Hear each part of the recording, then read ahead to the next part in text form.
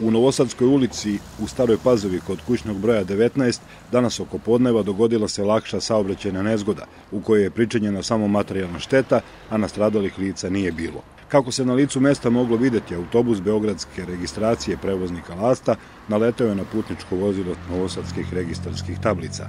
Uviđaj na licu mesta izvršila je saobraćajna policija policijske stanice Starapazova, a zbog ove nezgode, kraće vreme, bio je otežan i usporen saobraćaj na ovom delu puta koji vodi ka Inđiji. Manjih problema u saobraćaju bilo je i zato što vozači autobusa i putničkog automobila nisu propisno obeležili mesto nezgode. Na kraju i dalje ostaje upozorenje, u saobraćaju budite maksimalno oprezni i poštujte propise.